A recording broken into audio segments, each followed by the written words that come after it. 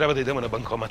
Ajde. Što ja? Zato što ćeš ti podići svoje, pa će ja tebi sutra dati. Ajde. vidite prvo ne da se umijete, popijete vodice, pa ja vas da, stigam. Da. Ajde, Vi me sačekajte, važi? Čekam važi. te kod Miloša. Ajde, požuri. A vi mu se nemojte smijeti, nije u redu, mislim, čovjek ima problem. Pa rano je legla plata, budalo, jedna dinara nema.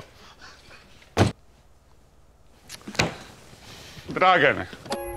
Državni posao vam je omogućio OM Cafe.